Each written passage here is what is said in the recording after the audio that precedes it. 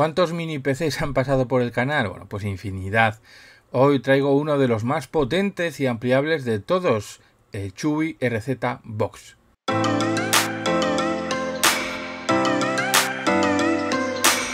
Este vídeo lo ha patrocinado la web de claves baratas. En ella podéis encontrar licencias de juegos y de Office, pero sobre todo la más interesante es la de Windows 10 Profesional, que tiene un coste muy bajo, además con el código TQ20 sale aún más barata. Eh, comprarla es muy fácil, la añadimos al carrito, ponemos TQ20 y pagamos y casi de forma instantánea tenemos la clave.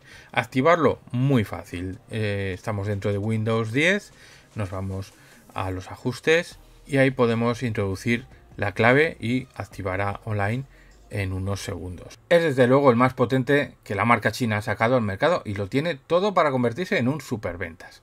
Para empezar, tiene una construcción muy robusta con un chasis eh, de aluminio, un diseño que gustará más o menos, pero que es original, parece un enorme disipador.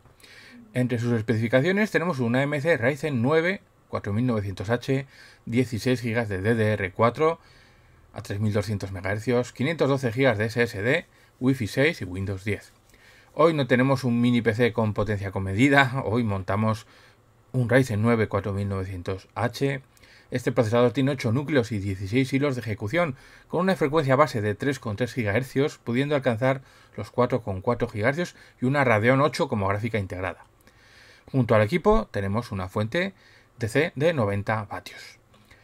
Tan solo 8 tornillos nos separan de ver su interior. La primera capa a la que tenemos acceso nos facilita cambiar la RAM dos slots son los que tenemos y el SSD, donde también nos encontramos dos vallas M.2, una ocupada por el instalado de fábrica y esa segunda valla que podemos ocupar con un segundo SSD o una gráfica externa como ya os enseñé en otro vídeo del canal. Ya hemos visto que tenemos dos vallas para RAM con 16 GB en total que corren a 3200 MHz en doble canal. Eh, tenemos eh, el equipo plagado de puertos hay HDMI, VGA, DisplayPort, dos RJ45 gigabit, dos USB 3, un USB-C, dos USB 2, jack, micrófono y botón de, de energía de encendido. Eh, por desgracia ese USB-C es solo USB 2 por lo que no sacará vídeo. De todos modos no será por salidas. Tenemos Windows 10 Home por lo que no podemos encriptar los discos de forma nativa, habrá que recurrir a soluciones de terceros. En benchmarks, Geekbench 5 nos da más de 1100 puntos en un núcleo y más de 6.000 en multinúcleo, y en Geekbench 4, 5.150 puntos en núcleo y más de 25.000 en multinúcleo. Son las cifras más altas dadas en un equipo en el canal, que yo recuerde, especialmente en multinúcleo, una barbaridad de potencia este Ryzen 9.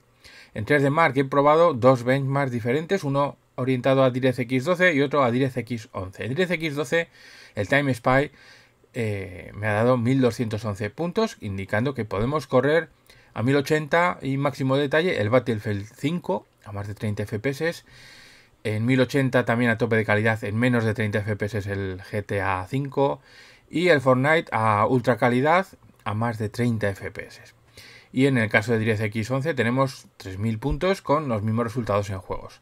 Y ojo, renderizando vídeo, una auténtica máquina de cálculo, 18 segundos renderizando el vídeo de ejemplo de Camtasia, brutal.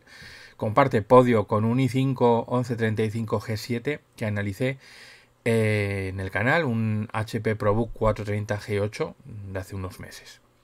¿Y qué tal se comporta en juegos en el mundo real? Bueno, pues muy bien. En Doom, 1080 calidad alta, ha superado los 30 en todo momento y los 40 en general, 40 FPS. En el Wolfenstein Old Blood, 1080 calidad alta rondaba los 30 y para hacerlo más competitivo, bajando a, a gráficos calidad media, en 1080 ya nos ponemos a 60 FPS, o sea, brutal.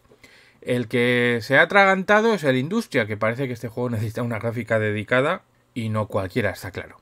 En el Metro 2033 Redux, otro juego exigente a 1080 tope de calidad, perfecto, impresionante para una gráfica integrada. En general podemos jugar a todo a 1080 y solo en algunos juegos habrá que variar la calidad. Tenemos, como hemos visto, doble valla M2 y la que viene ocupada no lo hace nada mal, con un SSD NVMe, las dos vallas son PCI Express. Este de 512 GB que nos da unas cifras brutales tanto en secuencial como en accesos aleatorios. Más de 2.300 MB por segundo en lectura y 1700 en escritura, pero las aleatorias son increíbles. Con estas cifras el equipo literalmente vuela.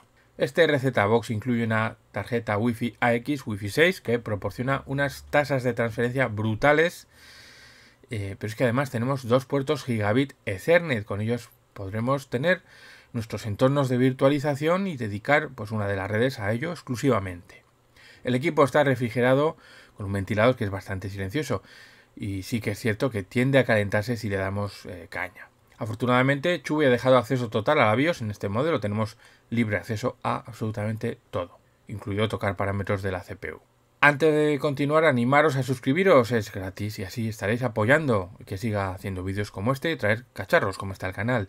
También podéis seguirme en Twitter y en el resto de redes, así como en los canales de Telegram que os dejo enlaces en la descripción.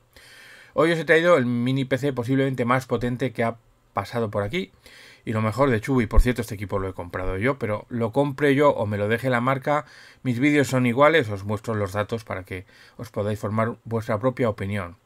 Los benchmarks no mienten. Bueno, no me enrollo y os doy mi opinión de este mini PC. Lo primero, con toda esta potencia en este tamaño, pues ¿qué demonios hacéis con una torre en casa?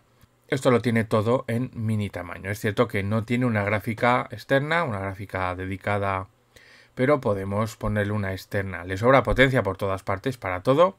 Ya hemos visto cómo renderiza, incluso podemos jugar a 1080 en alta calidad a la mayoría de juegos, aunque en algunos pues habrá que bajar esa calidad. Es un maquinón virtualizando sistemas y monta una RAM y SSD brutal. Es una construcción espectacular en aluminio. Básicamente lo tiene todo. Ahora es vuestro turno. ¿Qué más le hubierais pedido a este receta box? Dejadlo en los comentarios. Espero haberos ayudado. Y os veo en el próximo vídeo. Un saludo. Bye.